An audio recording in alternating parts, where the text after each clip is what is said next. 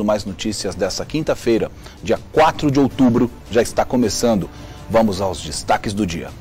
Creche Gente Inocente. Tragédia que abalou o Brasil completa um ano amanhã. Nossa equipe voltou a Janaúba, no norte do estado, para mostrar como estão as crianças que sobreviveram ao ataque. A gente pensa muito, né? O sentimento é muito, principalmente porque perdemos muita criança nessa tragédia, né? Economia. Comerciantes de Juiz de Fora estão otimistas com as vendas para o Dia das Crianças. A expectativa é de um aumento de 5% em comparação com o ano passado. Sempre o segundo semestre foi melhor para o comércio, até em função das datas, começar pelos Dias das Crianças. Uma multinacional em Poços de Caldas está implantando um programa educacional que usa atividade física para desenvolver o aprendizado. 9 mil crianças de escolas públicas serão beneficiadas. A grande importância do método Joy of Moving é nós associarmos a atividade física com objetivos né, relacionados tanto aos aspectos motores, cognitivos, afetivos e sociais.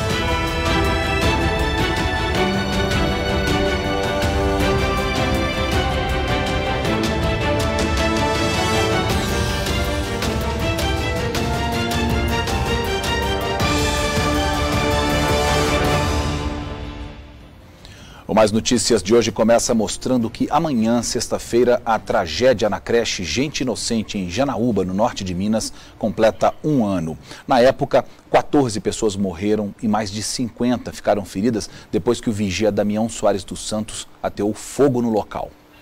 Maria Rita, Flávia Nayara, Tiago Felipe e Manuel. As crianças são vítimas da terrível tragédia da creche Gente Inocente em Janaúba, no norte de Minas. Hoje, elas conseguem voltar a sorrir.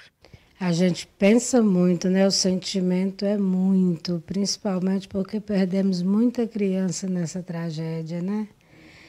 E principalmente agora que vai chegando mais perto, aí que o coração da gente fica doendo mesmo, pensando naquelas mães que perderam os filhos.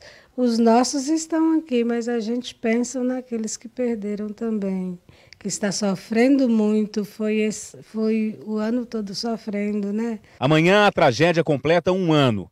Os pais contam que os dias hoje são mais fáceis, mas não apaga as marcas deixadas pela tragédia. A Flavinha, por exemplo, teve 80% do corpo queimado. Ela ficou 60 dias internada em um hospital em Belo Horizonte, bem longe da família. A nossa dificuldade é sobre o sol, né? O sol, igual todo mundo sabe que Janaúba é quente que ela não pode ficar muito exposta, o sol e a terra também, né? E o mais principal é não deixar ela machucar a pele dela, né? Que tá, como você diz, tá recente ainda, tá em fase de cicatrizar. Então, sim, isso é os cuidados que nós temos, a dificuldade de nós sempre ficar atento, né? Foi na manhã do dia 5 de outubro do ano passado que o vigia da creche, Damião Soares dos Santos, de 50 anos, entrou no local com um galão de gasolina e ateou fogo. Dez alunos, três funcionários e o próprio autor do incêndio morreram. Mais de 50 pessoas ficaram feridas. De alguma maneira vocês estão tendo respostas, vocês estão tendo amparo, assistência. Como é que está essa situação hoje? A assistência está muito pouca, né? A assistência para a gente aqui está tá, no início estava bom demais, mas foi parando aos poucos, está muito pouca assistência aqui. Mesmo depois de tanto tempo, a cidade, que tem pouco mais de 75 mil habitantes, ainda não conseguiu superar totalmente o trauma da tragédia. Afinal de contas, no decorrer da história, demandou tantos desdobramentos, mais perdas, angústias, tantas dificuldades para conseguir, ao menos, cuidar dessas crianças. Importante lembrar que todas as famílias são de uma comunidade carente do bairro Rio Novo. E a força para superar isso tudo está vindo mesmo de uma união. E eu agradeço muito a Deus e muitas pessoas que Deus enviou para nos ajudar, principalmente é, lá no Musclar, Rony, tem os irmãos da Igreja Batista, os Batistas Mineiros que sempre estão tá conosco, tem a Tati de BH também, tem vários muitos, e se vou citar, ixi, é quase o Brasil todo. No início do ano, um novo prédio que leva o nome da professora Ellen de Abreu foi inaugurado. Ela é considerada uma heroína, já que durante o incêndio a mulher conseguiu salvar várias crianças mas acabou não resistindo aos ferimentos e morreu. O local começou a funcionar recentemente, mas a prefeitura não autorizou a nossa entrada. A diretoria também não quis dar entrevista. A justificativa é a de que não querem tocar em uma ferida que está cicatrizando. É como se a ferida fosse simplesmente desaparecer pelo fato da gente não falar sobre ela. A dor de perder um filho, de perder uma criança em uma comunidade pequena, especialmente carente, como é o caso da comunidade de onde vieram as crianças que morreram nessa tragédia, é inimaginável. É muito difícil que a gente se, consiga se colocar no lugar dos pais, dos vizinhos, dos parentes, dos professores e entender qual é a dor que eles sentem. Mas a gente precisa sim falar sobre esse assunto, porque, por exemplo, a creche foi reinaugurada em março mas ninguém sabe se essa creche nova tem um sistema de combate a incêndio que a creche anterior não tinha. Nós não sabemos se o governo do estado e se as prefeituras do estado, especialmente das cidades que têm ensino fundamental e ensino infantil, ensino de creche, se essas prefeituras e o governo do estado realmente investiram no desenvolvimento de projetos contra incêndio, que poderia ter salvado, se não todas, muitas vidas na creche Gente Inocente. Então não adianta fingir que não aconteceu, não adianta dizer que vai passar por cima, porque não vai.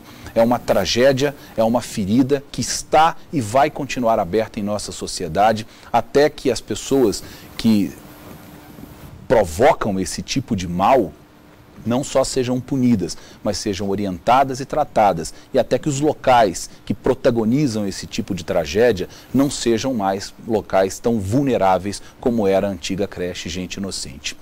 Na próxima semana, e é o nosso próximo assunto, o ex-goleiro Bruno Fernandes deve passar a cumprir pena em regime semiaberto e domiciliar.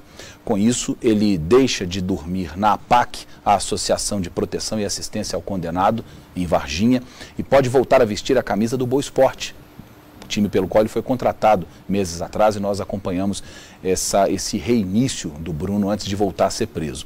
Segundo o advogado de defesa, Fábio Gama, o atestado de pena do ex-goleiro foi atualizado pelo juiz da primeira vara criminal e de execuções penais da comarca de Varginha, o magistrado Tarcísio Moreira de Souza.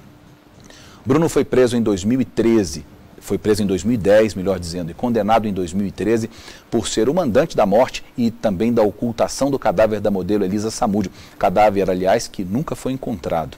Por telefone, a diretoria do Boa Esporte confirmou que, se Bruno for solto, ele deve voltar a trabalhar no time de Varginha.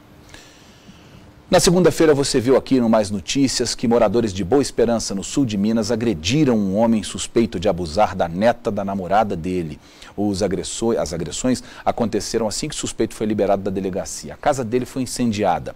Hoje você vai ver um caso muito parecido que aconteceu em Muriaé, na zona da mata. Um homem suspeito de abusar da ex-enteada dele foi espancado por vizinhos. Esse crime foi ontem à noite, no distrito de Vermelho, na zona rural de Muriaé. De acordo com a polícia militar, a mãe da menina de 10 anos fez uma denúncia na terça-feira contra o ex-companheiro. A acusação era de que o homem teria abusado sexualmente da criança após levá-la para um passeio. Ontem à noite, o suspeito de 39 anos voltou à casa da ex-companheira para conversar sobre essa acusação.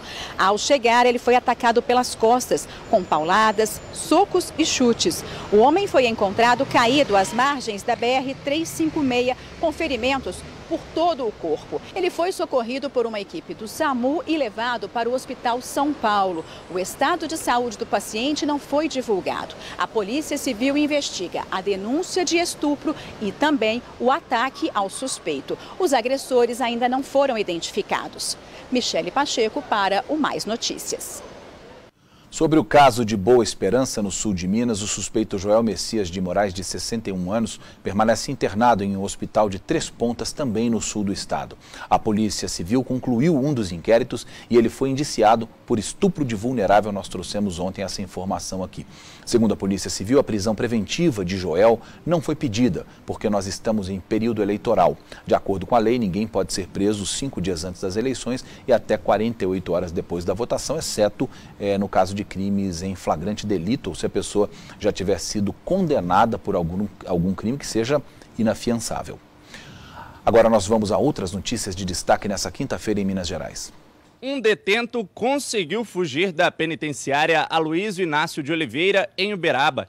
Ele saiu pela porta da frente junto com as visitas. Isso aconteceu no dia 22 de setembro, mas só foi confirmado ontem pela Secretaria de Estado de Administração Prisional. Em nota, a secretaria informou que já abriu uma investigação interna para apurar possíveis responsabilidades. De Uberlândia, Tarsis Duarte. Um adolescente de 17 anos foi apreendido depois de atacar a ex-namorada, também de 17 anos, com um golpe de faca, em Betim, na região metropolitana da capital. A menina estava na casa dele, conversando com a ex-sogra, quando o jovem saiu do banheiro e perseguiu a adolescente até a escada, atingindo nas costas. A menina foi socorrida por moradores do bairro e levada para a unidade de saúde do bairro Jardim das Alterosas, também em Betim, em seguida transferida para o hospital regional da cidade. Já o adolescente foi detido de Betim Vinícius Araújo.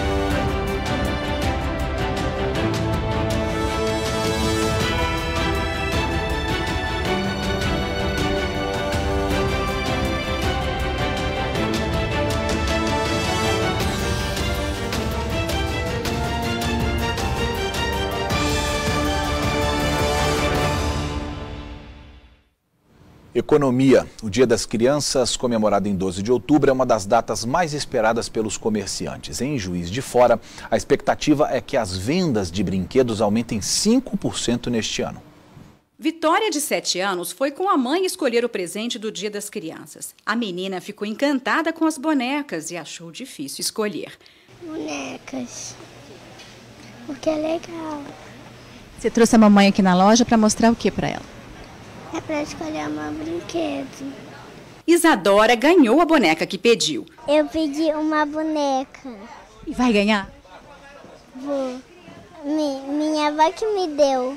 João, de apenas dois anos, viu o brinquedo que queria e ficou tão alegre que a mãe não resistiu e comprou. Viu, não largou, então não tem jeito, né? Paixão à primeira vista. Com certeza. Melma quer presentear os dois netos. A balconista não gosta de deixar para a última hora e tem um tipo de brinquedo que prefere comprar. Eu gosto mais dos jogos, que eu dou preferência, né?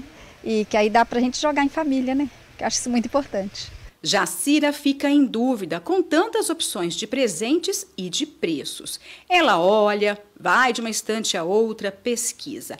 A artesã ainda não comprou o presente da neta, de seis anos. Vai se aproximando o dia e os preços aumentam, né? Aí, assim, tô achando um pouco difícil, mas ainda hoje ainda não vou comprar, não. Os donos desta loja de brinquedos em Juiz de Fora apostaram na variedade de produtos e marcas para atrair os consumidores. A gente tem que fazer uma preparação. Essa preparação de Dia das Crianças já é um primeiro passo para o Natal, para o final do ano. Como a gente já vem trabalhando isso há bastante tempo, a gente já começa a preparar bem antes para não ter um reforço de estoque, para não ter esse problema de falta de mercadoria. A diversidade de preços ajuda a atrair os clientes. Em termos de hoje orçamento das pessoas, então a gente tem, tem que poder atender, entendeu? Do pequeno valor até o valor maior. Esta outra loja colocou os brinquedos em destaque logo na entrada, uma forma de chamar a atenção de quem passa. O cliente às vezes ele vem atrás de um produto, ele vê o outro disposto, bem localizado, ele lembra de, um, de uma outra criança, do netinho. Então, quer dizer, ele sempre leva. Então, a loja, quanto mais organizada e melhor exposto o produto, facilita tanto para o cliente quanto para nós que o atendemos. O segundo semestre é a melhor época do ano para o comércio de brinquedos. O Dia das Crianças e o Natal movimentam as lojas. Neste ano, a expectativa da CDL, Câmara de Dirigentes Logistas, é de um aumento de 5% nas vendas em comparação com o mesmo período de 2017. Sempre o segundo semestre foi melhor para o comércio, até em função das datas. Começar pelos dias das crianças, Dia dos Pais em agosto, criança em outubro, depois também temos o Black Friday, que querendo ou não estimula bastante em novembro, e o ápice que chega em dezembro, que é o Natal. O atendimento é considerado um dos principais motivos que levam os consumidores a escolher onde comprar. De olho no Dia das Crianças e no Natal, os comerciantes abrem a temporada de contratações temporárias. Segundo dados do Ministério do Trabalho, o comércio emprega em Juiz de Fora cerca de 30 mil funcionários em quase 9 mil estabelecimentos.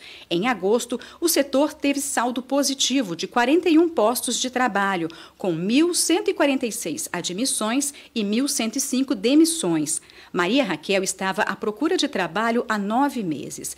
Ela está entre os três funcionários temporários contratados por uma loja de brinquedos. Foi difícil.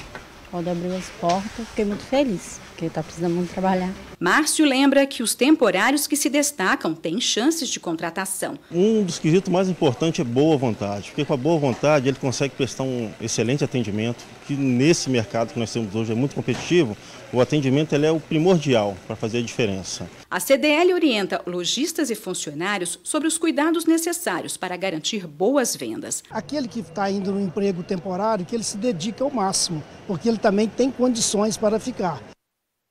E algumas escolas já começaram a chamar os pais para negociar o reajuste das mensalidades do próximo ano.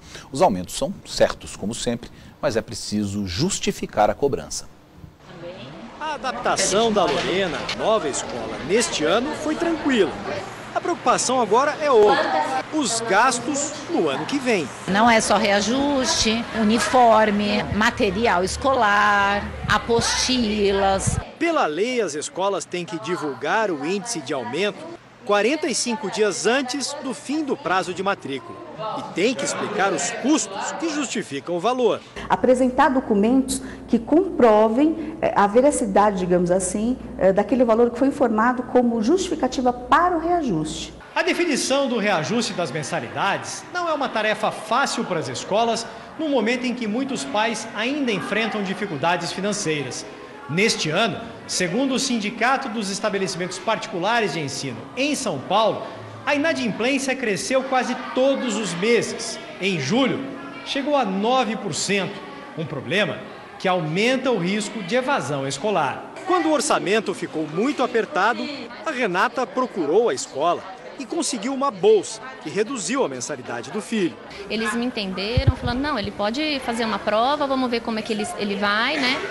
E, enfim, ele conseguiu a porcentagem. Essa escola ainda não definiu o reajuste, mas dá um desconto para quem se antecipar. O pai que efetivar a matrícula do aluno até finalzinho de outubro, a gente tem aí um reajuste, a gente vai conceder um reajuste de 5%, que provavelmente é um reajuste muito menor do que está previsto aí para 2019. Para pais que acharem os reajustes nas escolas exagerados, por estarem muito acima da inflação, o PROCON recomenda denunciar os abusos aos órgãos de defesa do consumidor.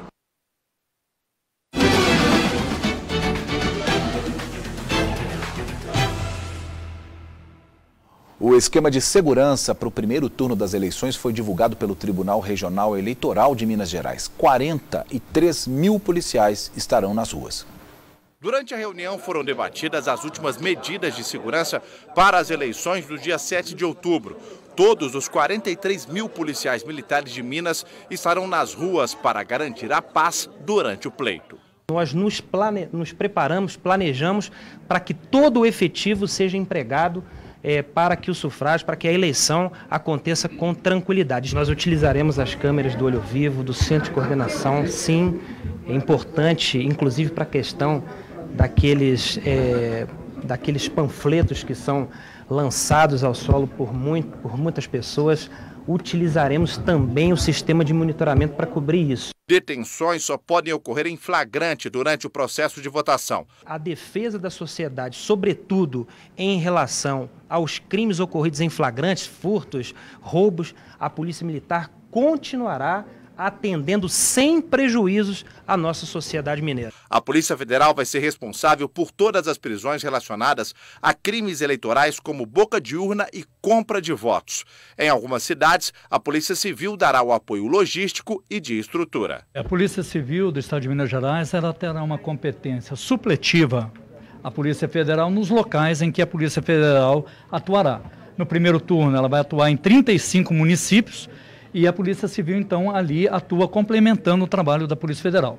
Já no segundo turno, a Polícia Federal, ela atua somente nas sedes, nas oito sedes. A Polícia Civil atuará nos, nos demais municípios, nos 28 municípios que a Polícia Federal deixou de atuar no, no segundo turno, e outras 296 comarcas do estado de Minas Gerais. Minas Gerais não solicitou a Força Nacional de Segurança para as eleições, como ocorreu em outros estados. As polícias vão coibir bocas de urna e derramamento ilegal de propaganda eleitoral pelas ruas na madrugada anterior às eleições. Nós estaremos atentos a qualquer tipo de derrame de santinhos. O sistema de denúncia é o usual da, da, o 181 e o 190 da polícia, e aí assim a polícia será acionada e tomará as providências. No dia 9 de agosto foi formado um gabinete institucional para cuidar da segurança das eleições. Ele é formado pelo Tribunal Regional Eleitoral, pela Polícia Militar, Civil, Polícia Federal, pela Promotoria, pela Secretaria de Estado de Segurança Pública. No dia do pleito, ele começa a funcionar às 7 horas da manhã e só termina depois que a última urna for fechada. A juíza eleitoral recomenda não usar camisas de candidatos. Botões estão liberados, desde que a manifestação seja silenciosa. Ainda não foi decidido se vai haver lei seca no Estado e quais serão as regras se houver. A promotoria vai estar atenta para qualquer tipo de crime eleitoral. Nós fizemos a programação de distribuição das forças e elas é, é, é, estão preparadas então para esse para a proteção né, do eleitor e a proteção do processo eleitoral. O mais importante é que o eleitor cumpra as regras e vote de forma ordeira. Vamos fazer uma eleição limpa. É, não prejudique o seu candidato, não é? é? O cabo eleitoral é responsável. O meio ambiente agradece. Os candidatos ao governo pelo estado de Minas ainda têm agenda de campanha amanhã. Você confere agora comigo. Romeu Zema, do Novo, de manhã toma café com apoiadores, faz caminhada e participa de uma reunião em Tupaciguara. À tarde dá entrevista para uma rádio em Divinópolis e à noite faz caminhada, também em Divinópolis. Dirlene Marques, da coligação Frente Minas Socialista. De manhã e à tarde faz panfletagem com militantes da Central Sindicalista dos Trabalhadores na UFMG, em Belo Horizonte. À noite, faz uma transmissão ao vivo na página oficial dela no Facebook. Antônio Anastasia, da coligação Reconstruir Minas. De manhã, faz caminhada em Santa Luzia e Vespasiano. À tarde, faz caminhada em Lagoa Santa e Pedro Leopoldo. Fernando Pimentel, da coligação do Lado do Povo. De manhã, manhã faz caminhada na companhia do candidato à presidência Fernando Haddad, lideranças e outros candidatos em Belo Horizonte e governador Valadares. Alexandre Domingues, do PCO, de manhã faz panfletagem e se reúne com apoiadores em Juiz de Fora. À tarde faz panfletagem e estará com apoiadores em Alfenas. Claudinei Dulim, do Avante, de manhã se reúne com a equipe de campanha em Belo Horizonte. Jordano Metalúrgico, do PSTU, de manhã faz panfletagem em fábricas e no restaurante Popular em São João Del Rei. À noite, faz panfletagem em uma faculdade também na cidade histórica. Adal Clever Lopes, da coligação Minas Tem Jeito, passa o dia gravando vídeos para a campanha. João Batista Marisguia, da Rede, de manhã faz panfletagem em Belo Horizonte.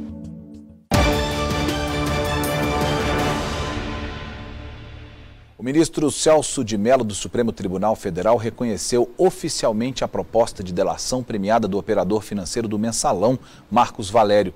Os depoimentos de Valério, conforme apurou o jornalismo da Record TV Minas, atingem políticos de vários partidos, principalmente do PT e do PSDB. Políticos com e sem foro privilegiado. Na decisão de 36 páginas, o ministro explica que homologou a delação parcialmente Celso de Mello entendeu que Marcos Valério não poderá obter os benefícios nos processos em que ele figura na condição de réu. Os documentos contendo as novidades reveladas estão sob sigilo.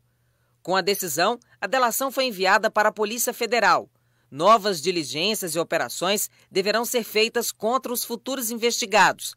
Marcos Valério fechou a delação com a PF em Belo Horizonte em julho do ano passado, após diversas negativas do Ministério Público Estadual. Logo depois do acordo com os federais, o publicitário ganhou o direito de ser transferido da penitenciária Nelson Gria, em Contagem, para a Associação de Proteção e Assistência ao Condenado, a APAC, em Sete Lagoas. Nesse modelo de prisão diferenciada, os presos ficam com as chaves da cela. Na semana passada, Valério foi obrigado pela Justiça a voltar para Nelson Gria, por causa de uma série de privilégios. O jornalismo da Record TV Minas apurou com fontes ligadas ao processo que Marcos Valério entregou uma mala de documentos para comprovar as delações. Considerado o principal homem bomba da política, ele já foi condenado nos processos dos mensalões, do PT e do PSDB.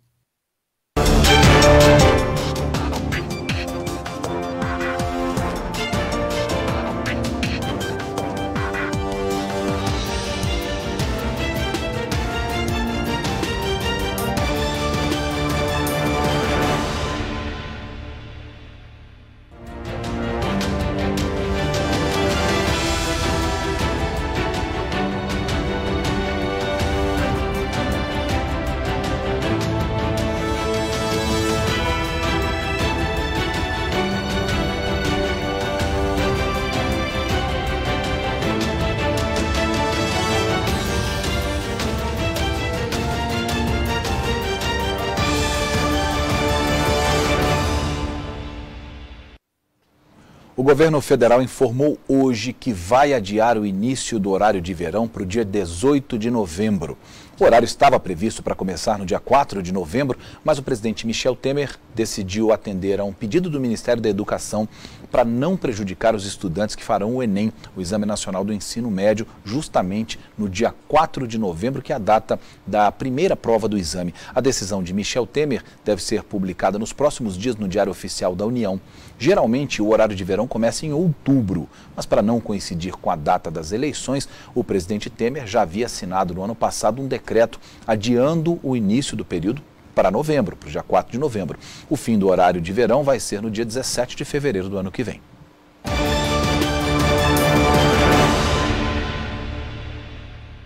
Na terça-feira, nós mostramos aqui no Mais Notícias que o um menino de 7 anos, morador de Três Corações, no sul de Minas, teve 75% do corpo queimado depois de jogar um fósforo aceso dentro de uma lata de tiner. Ele permanece internado em estado grave na UTI do pronto-socorro do Hospital João 23, em Belo Horizonte, que é referência no tratamento de grandes queimados. Hoje você vai ver que aumentou o número de crianças vítimas de queimaduras atendidas no João 23. Neste ano, a média de atendimento é de um caso todos os dias. O pai conta que Rafael foi fritar um ovo com o primo, mas eles deixaram o gás aberto. Quando foram acender o fogo, as chamas queimaram o garoto de 9 anos. Desespero, né? Sem saber o que fazer. A família de Divinópolis, região centro-oeste de Minas. Rafael foi trazido para a capital mineira no último domingo. Serão 15 dias de internação e depois o tratamento continua. É uma plástica, algum enxerto, né? Aí estou esperando o médico me dar o laudo, ver o que vai fazer. De janeiro a agosto de 2017, 256 crianças foram atendidas com queimaduras no pronto-socorro João 23. O número subiu para 292 no mesmo período deste ano, uma alta de mais de 14%. Isso significa que por dia, uma criança queimada é atendida aqui. De acordo com o diretor do João 23, referência em tratamento de queimaduras, ainda tem crianças no interior que aguardam, mas não tem leito no pronto-socorro para atender a demanda. Ele alerta que a maioria dos acidentes acontece dentro de casa. O acidente mais comum é o domiciliar. A gente tem a cozinha, né, que é um fator preponderante, e os produtos químicos, né? Você tem álcool, gasolina, querosene e assim por diante. Na cozinha, o que, que acontece? O mais comum é a criança querer olhar na, no fogão, né? Ou então é a mãe que às vezes está coando café com água quente e às vezes num acidente a, a, criança perto acaba atingindo o cabo da panela, por isso que a gente orienta sempre pôr os cabos para dentro do fogão nunca deixando ah, para fora. Às vezes as crianças também abrem o forno para subir no, no, na tampa do, forno para olhar o que tem na, na panela. E nesse caso ocorre o acidente. Nessa terça, um menino de 7 anos teve o peito e as pernas queimados enquanto brincava com uma vasilha com querosene em Três Corações, no sul de Minas. Segundo o Corpo de Bombeiros, o garoto teria acendido fogo próximo à embalagem que explodiu. Ele teve queimaduras de segundo grau e foi transferido pelo helicóptero Arcanjo dos Bombeiros para o pronto-socorro de Belo Horizonte. Um alerta para a população que nós estamos num período do ano que aumentou demais o número de crianças queimadas aqui no hospital. Agora que Rafael já saiu do perigo, José está mais tranquilo, mas reforça os cuidados para que outros pais não passem por isso. É ficar um alerta pelos pais também. Um minuto de descuido é o momento do acidente, perigoso, né? E nunca deixar a criança chegar perto do fogo, álcool, esse, fogão, esse tipo de coisa, né? Agora um alerta para as mulheres, especialmente já estamos dentro do Outubro Rosa. Quase 9 milhões de mulheres com idades entre 50 e 69 anos não fizeram o exame de mamografia no ano passado. O que faz muitas mulheres desistirem do exame é justamente a demora para conseguir esse procedimento na rede pública. Aos 46 anos, Rosângela decidiu fazer a primeira mamografia. Mas a demora para conseguir realizar o exame pelo SUS foi tanta que ela teve que pagar. Preferi pagar particular porque eu faço exames rápido e entrego e fico sabendo se tem alguma coisa ou não. Porque daqui eu faço, procuro fazer o SUS, demora quando eu, se, se eu tiver alguma coisa até saber, já não tem mais jeito. A longa fila de espera para fazer a mamografia pelo SUS é um dos motivos da queda no número de exames em todo o país. E eu tenho experiência de amigas que, dem que demoraram fazer faz os exames, mas demora. Até chegar nela, já, ela já desistiu. No ano passado, 9 milhões de mulheres com idades entre 50 e 69 anos não fizeram a mamografia preventiva pelo SUS. A falta do exame dificulta o diagnóstico precoce e, com isso, prejudica a chance de cura. A previsão era de que fossem realizadas pelo SUS em 2017 11 milhões e meio de mamografias mas apenas 2 milhões e 700 mil exames foram realizados. Isso representa 24% dos 70 recomendados pela Organização Mundial da Saúde. Isso é um problema para as mulheres, por quê? Falta investimento nessa área, falta investimento na saúde, mamógrafos estragados e o acesso é o mais importante. Nós temos uma grande dificuldade de acesso da mulher na mamografia. A mulher não consegue chegar no posto de saúde e pedir uma mamografia. Ela tem que procurar primeiro um médico, do médico ela vai numa clínica de mamografia, volta nessa clínica, pega esse exame, leva para aquele médico e depois ela vai no mastologista. São cinco passos para ela chegar no mastologista. Isso dificulta e muito o acesso dessa mulher. O médico questiona o SUS, que indica o exame para mulheres entre 50 e 69 anos a cada dois anos. A Sociedade Brasileira de Mastologia recomenda que a mamografia seja feita anualmente depois dos 40 anos. Isso por quê?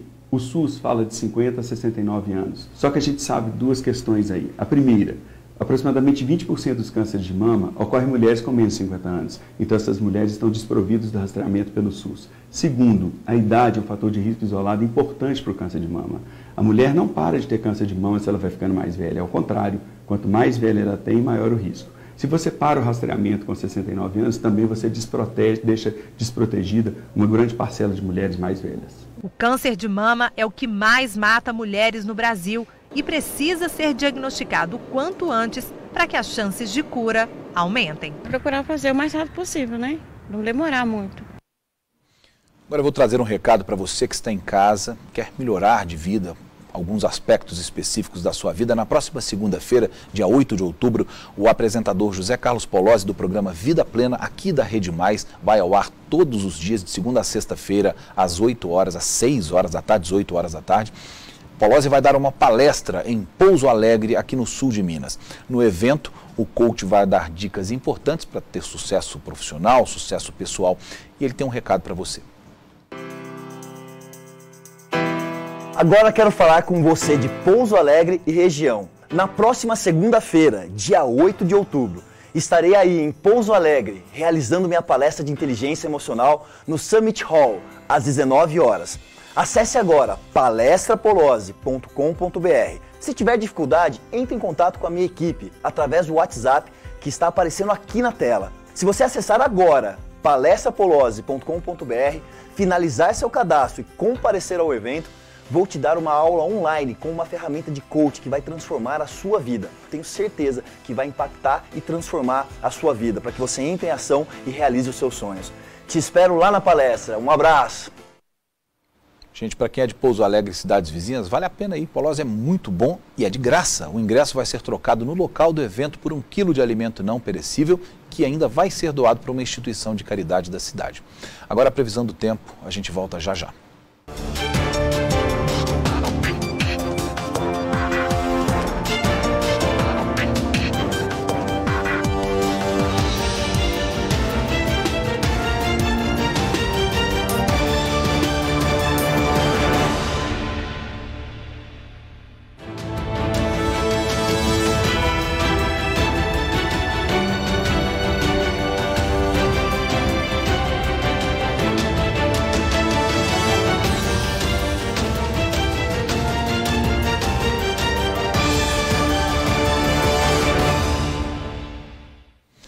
Olha que boa iniciativa. Uma multinacional em Poços de Caldas implantou nas escolas públicas da cidade um programa educacional inovador. O sistema aumenta o interesse pela prática de atividades físicas. Ao todo, 9 mil crianças vão ser beneficiadas.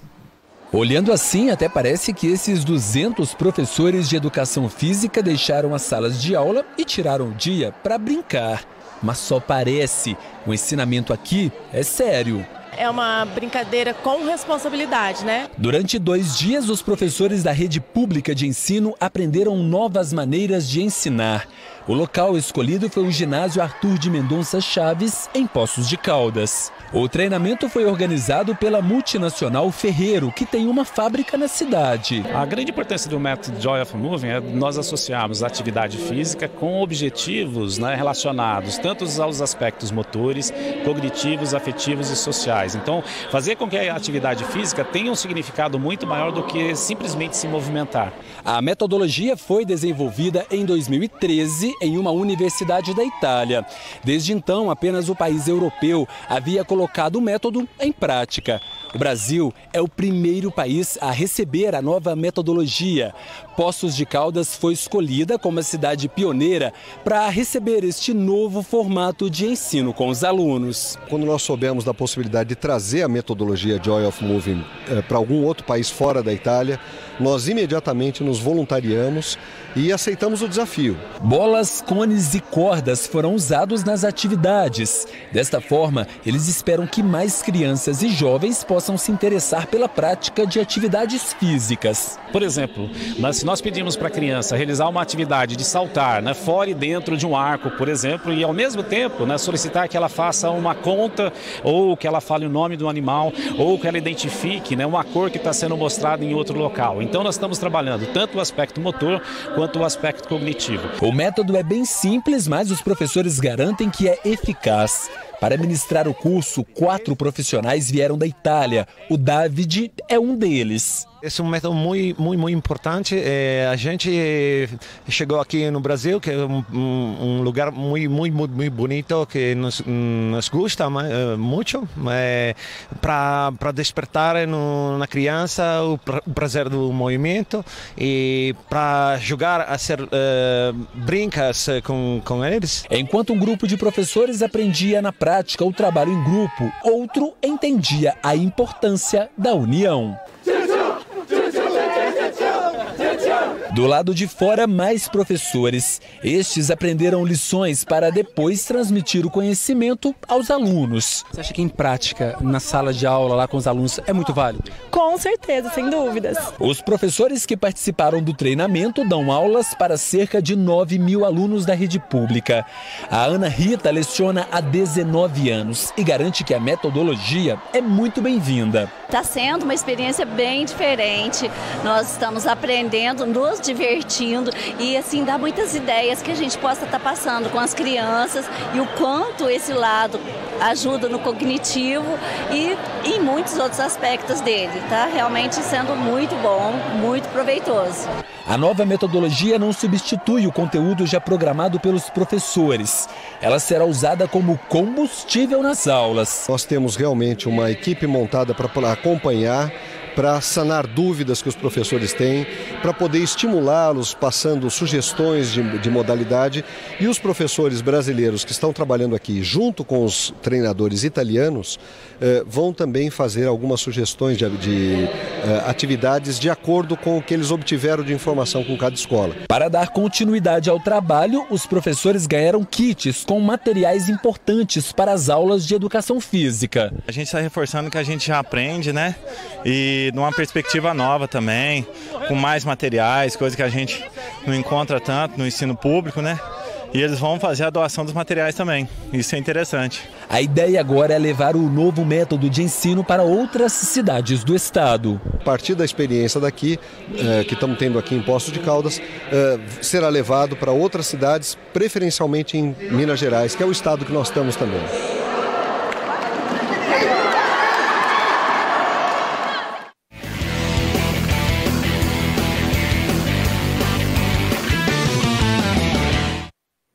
Hora do futebol, eu já me teletransporto aqui para o cenário do programa Ataque, todos os dias, seis e meia da tarde, com o Marco Antônio Leite, mas nesse momento quem comanda somos nós, eu e essa moça feliz que está aqui do meu lado, Letícia Reis, boa noite para você. Boa noite para você também, Luiz, para o pessoal de casa, estou muito feliz. com a classificação do Palmeiras ontem e vai contar para a gente como é que foi o jogo contra o Colo-Colo, foi satisfatório? Já diria Gustavo Lima, foi bonito, foi, foi intenso, viu, Luiz? Foi Imagina. lindo o jogo de ontem. Casa cheia, torcida empurrando e o time correspondeu em campo. O Verdão podia perder por 1 a 0, que já estaria classificado, mas não levou em conta a vantagem, partiu para cima do Colo-Colo e venceu por 2 a 0. Palmeiras carimbou o passaporte para a SEMI e agora aguarda o adversário que vai sair do jogo entre Cruzeiro e Boca Juniors. A outra semifinal já está definida com Grêmio e River Plate. Será que vai dar dois confrontos brasileiros contra argentinos? Ou será que teremos pelo menos um brasileiro aí na final, Luiz? A expectativa é boa, né? É, pelo menos a minha é uma expectativa muito boa. Se o Cruzeiro passar hoje, automaticamente já vamos ter um brasileiro na final, porque ele pega o Palmeiras na próxima fase. O pessoal que está em casa sabe disso. Só que para isso, Letícia precisa primeiro vencer o Boca Juniors. Não adianta ser de 1 a 0 só. Tem que vencer no mínimo por 2 a 0 por dois gols de diferença. Exatamente, viu, Luiz? Eu tenho visto também nas redes sociais o quanto os jogadores estão focados para a partida Sim. de hoje e o quanto os torcedores estão apoiando. Eu estou assim impressionada Tô, dou parabéns para a torcida celeste aí, que está sendo muito legal. No jogo de daqui a pouco, às 9h45, o, Cruze, o Cruzeiro precisa vencer por pelo menos 2 a 0 para levar a decisão para os pênaltis. O último treino da equipe foi fechado. O técnico Mano Menezes escondeu o jogo dos jornalistas e até de alguns torcedores que estiveram na Toca da Raposa 2. O treino foi de portões fechados. Vale espiar, mandar boas energias e dar aquele grito de incentivo. É importante, né? Dar força pro Cruzeiro, lotar o Mineirão lá e ganhar. Dar um gás a mais, né? Pra gente ganhar o, o jogo. Força total. Nesta quarta-feira, faixas com palavras de apoio foram estendidas próximas às casas dos jogadores e do técnico. Carinho faz muito bem, você receber isso na frente da sua casa antes de sair para o treinamento.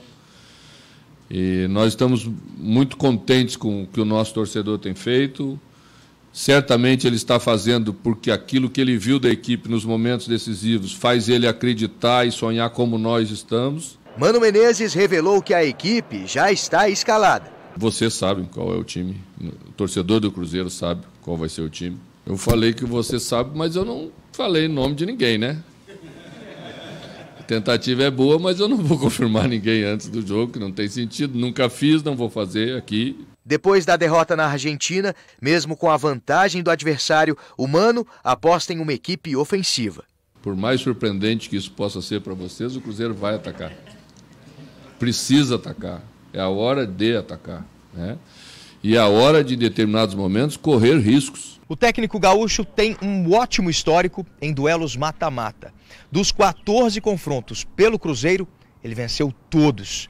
Resta saber se nessa quinta-feira Vai dar mano ou hermanos? Não, aqui é mano, Cruzeiro. lógico que é mano. Com certeza.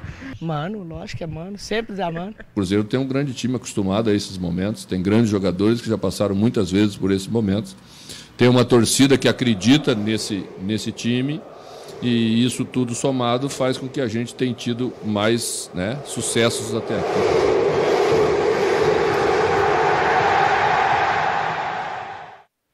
Torcida está muito legal. Bom, o Boca Juniors chegou ontem à capital mineira e a delegação ficou hospedada em um hotel da região leste. A gente vê imagens aí dos gêmeos Guilhermo e Gustavo Cheloto, técnico e auxiliar da equipe, né? Técnico e o auxiliar. E também dos jogadores importantes como o Gago, o Ábila, que já teve passagens também pelo Cruzeiro, Carlito Teves, Pavão e dentre outros. Então dá para ver que hoje vai ser um jogo muito difícil porque tem um elenco de peso, Boca Juniors também. Sem dúvida, fácil. Ó. O Boca Juniors tem a vantagem, né? Vantagem. Nós dissemos aqui agora, dá para reconhecer que o Palmeiras e o Grêmio deram muita sorte no sorteio e quem pegou o rojão foi o Cruzeiro, né? Foi, foi. Os adversários, tanto de Grêmio, a gente já tinha falado do Atlético Tucumã, Isso. do Colo-Colo ontem do Chile, que assim, sem expressão nenhuma, não deu dificuldade nenhuma para o Palmeiras. O rojão ficou com vocês mesmo, viu? É, mas isso, a vantagem é que se passar, pelo menos passa com bastante força. Muita força. Né? Agora tem... É Qual que era a próxima pergunta do que eu tinha Rojão, fazer? do Rojão, porque lá os torcedores do, do Cruzeiro soltaram rojões, Luiz, para poder... eu tô perguntando isso porque o pessoal ali ficou meio doido, né? Sobe e desce. É, o Boca tem a vantagem que a gente precisa saber se ele está preparado para segurar o Cruzeiro. Olha só, Luiz. Preparado, preparado mais ou menos. O clima no time argentino não é dos melhores. O elenco parece que está meio rachado ali com o treinador e tudo mais. Um desfalque é certo, que é o goleiro Andrada, que fraturou maxilar no jogo de ida contra o Cruzeiro. No lugar dele, uma pedreira, o boliviano estreante estreante Carlos Lampe. Ele fechou o gol no amistoso contra o Brasil no ano passado. Esse goleiro vai ter então uma responsabilidade e tanto para o jogo. Agora, se o time está preparado dentro de campo, eu também tenho minhas dúvidas. Olha só esse vídeo que a gente vai mostrar aí, publicado nas redes sociais.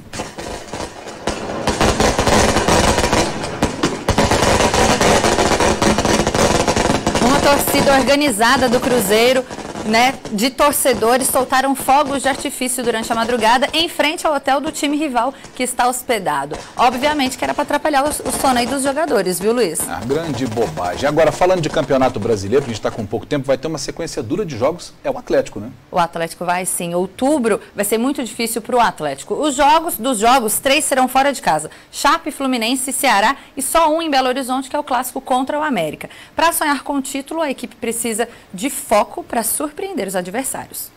time que, que quer ter ambições dentro da competição não pode só vencer jogando dentro de casa, tem que buscar vitórias fora. E se a gente não, né, não falar em título, não falar em, em chegar na ponta da tabela, não, também não faz sentido a gente vir trabalhar, treinar todo dia, né, mesmo sabendo que são oito pontos de diferença, mas que no futebol tudo é possível, ainda mais num campeonato difícil como é o Campeonato Brasileiro. E um dos grandes nomes do Atlético é o goleiro Vitor. O arqueiro está no Galo desde junho de 2012. Para muitos, ele é o melhor goleiro da história do clube. Mas antes de chegar ao status de ídolo da torcida, ele observou grandes nomes da posição. Me inspirei em, em alguns grandes goleiros da minha geração, como Tafarel, Marcos, Dida, Veloso, próprio Rogério Ceni, né? O Zete também. Acho que cada um colaborou de uma parte aí, sempre procurei me espelhar no que cada um tinha de melhor para poder atribuir ao meu trabalho dentro de campo. Muito bem, já acabou não? Já acabou não. Então, já acabou não. A última informação é sobre o vôlei. Vamos lá. A seleção feminina já estava classificada, mas entrou em quadra hoje para definir a posição na tabela. O Brasil venceu o Cazaquistão por 3 sets a 0 e se classificou em segundo do grupo. Na próxima fase, o Brasil vai enfrentar o Japão, a Holanda, a Alemanha e o México. O Mundial Feminino é disputado no Japão e a segunda fase começa no próximo domingo. Muito bem, você vai torcer pra gente hoje para ter a revanche daqui a duas semanas? Claro, você tem dúvida disso? Então, muito obrigado pela torcida, boa noite. Vim de azul. Boa noite para você também, Luiz. Para você que está em casa, uma boa noite. Amanhã a gente volta, se Deus quiser. Boa noite, até amanhã.